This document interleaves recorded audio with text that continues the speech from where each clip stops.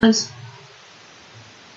I am going to tell you about a jump statement, statement practical session.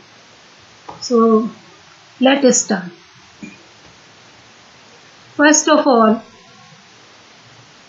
um, you have to think about a program that is find the smallest divisor of the number. Number का सबसे छोटा divisor हम लोग निकालेंगे using break statement यहाँ पे div नम आई, हम लोग ने डिफाइन किया, जो कल हमने थ्योरी सेशन में पढ़ाया था। वही आज हम प्रैक्टिकल सेशन में बता रहे हैं। इसमें सबसे पहले हमको नंबर एंटर करना पड़ेगा। नम हमने लिया और फॉर का लूप चलाएँगे, जिसमें टू से स्टार्ट कर रहे हैं।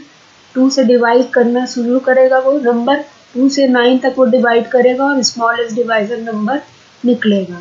तो जब हमने नंबर डाला तो उसमें वो, उसका मोड निकालेगा। अगर डिवाइड होने पे ज़ीरो आ जाता है तो स्मॉलेस्ट डिवाइज़र उसका निकल आएगा। तो उसको हम प्रिंट कर देंगे।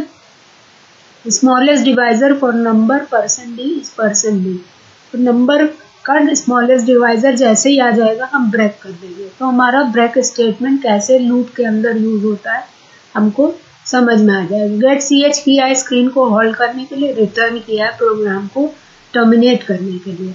अब रन करते हैं प्रोग्राम और आउटपुट देखते हैं। सपोज़ हमने यहाँ पे नाइन डाला। कल जैसे हमने बताया था तो स्मॉलेस्ट इंटीजर उसका थ्री आ जाता है। अब हम कोई दूसरा नंबर डालते हैं।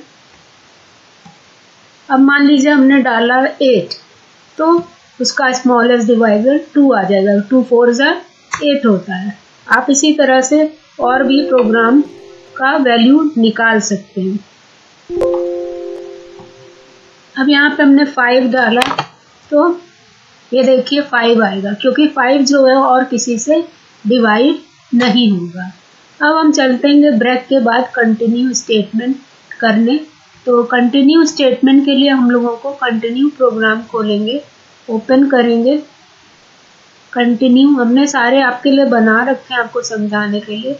इसमें हमको C program to explain the use of continue statement include studio dot H int main int I और कंटिन्यू क्या करता है? वह आपका बाईपास करता है प्रोग्राम को।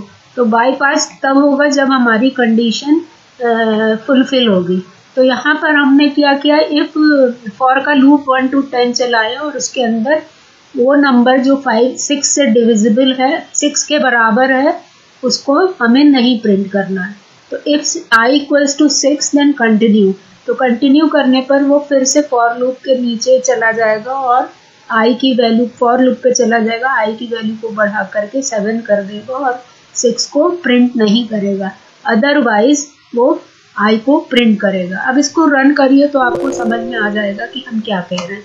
जब आप रन करिएगा तो प्रोग्राम में ये देखिए सिक्स आपका प्रिंट नहीं होगा। क्यों? क्योंकि कंटिन्यू करने से लूप फॉर पे चला गया था। अब हम चलते हैं दूसरा प्रोग्राम लेने। कंटिन्यू के बाद हमारा आया गो टू गो टू से हमारा क्या होता है? एक स्पेसिफिक पोर्शन पे जाके प्रोग्राम एग्जीक्यूशन करने लगता है और फिर वापस जाता है। तो यहाँ पे C program to print the number from one to ten using go to statement go to statement use करके हम लोग नंबर को प्रिंट कर रहे हैं। तो यहाँ पे इंट मेन किया int N equals to one किया C L R S C R किया लेबल लगाया गो टू के लिए लेबल लगाना पड़ता है कि प्रोग्राम उस पोर्शन में जाए। प्रिंट है परसेंट डी एन किया एन प्लस प्लस किया तो ये एन की वैल्यू को बढ़ा देगा। पहली बार वन प्रिंट करेगा। If N is greater than ten then go to outside अगर दस से बड़ा है तो बाहर चला जाए, और नहीं तो वो गो टू लेबल करे और प्रिंट करता रहे जब तक कि दस नहीं हो जाता। और जैसे ही आउटसाइड जाएगा, वो ओवर प्रिंट कर देगा। और गेट सी एच करेंगे और रिटर्न हो जाएगा। अब ऑल्टर आर करके रन करके इसको देख लीजिए।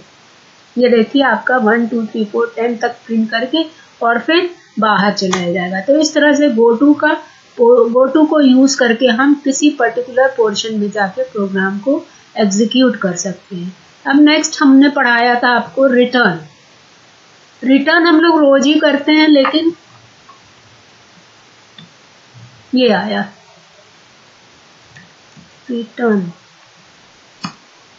रिटर्न मीन्स है कि फ़ंक्शन में जो वैल्यूज़ जहाँ से स्टार्ट होती, वहीं पे वापस आ जाएगा program C code to illustrate the return statement दो तरह का स्टेटमेंट रिटर्न होता है, एक नॉन वाइड होता है, एक वॉइड होता है. वॉइड मीन्स कि किसी भी टाइप का वैल्यू वापस आती है और non void means int float character किसी तरह की वैल्यू वापस आएगी. तो यहाँ हमने दो फ़ंक्शन डिफाइन किया sum int A int B int S one equals to A plus B return S one अब यहाँ पे दूसरा हमने फ़ंक्शन डिफाइन किया जो वॉइड टाइप का है, जिसमें int equals to S two किया the sum is percent D S two कर दिया रिटर्न कर दिया।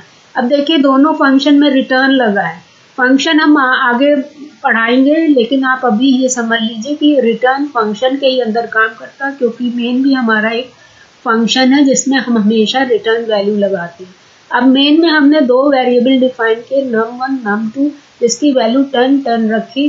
फिर हमने एक फ़ंक्शन कॉल किया सम नंबर जो हमने ऊपर डिफाइन किया। ऊपर इसलिए डिफाइन करते हैं क्योंकि किसी फ़ंक्शन को यूज़ करने के लिए उसका प्रोटोटाइप डिफाइन करना पड़ता है। वो किस टाइप का फ़ंक्शन है, उसमें कितने वेरिएबल है, उसकी टाइप क्या है और रिटर्न क्या कर रहा है। तो अब ये देखिए, जो दस दस वैल्यू टेन टेन वैल्यू हम लोग ने डिफाइन की, वो इंट ए और इंट बी में आएगी। यहाँ पर टेन टेन ऐड होकर एस वन में ट्वेंटी आ जाएगा। एस वन वापस आकर कहाँ पे स्टोर होगा? आपका मेन में सम ऑफ़ में स्टोर होगा। सम ऑफ़ में स्टोर होने के बाद यहाँ पे प्रिंट सम ऑफ़ करेंगे। अब इस जो वैल्यू हमारी टोटल हुई है, उसको हम वॉइड वाले फ़ंक्शन में प्रिंट कर देंगे। वॉइड फ़ंक्शन में देखिए इंट एस टू किया है तो एस टू में हमारा ट्वेंटी आ रहा है द सम इज़ ट्वेंटी तो हमारा प्रिंट क्या होगा? The sum is twenty so run it and find out the sum is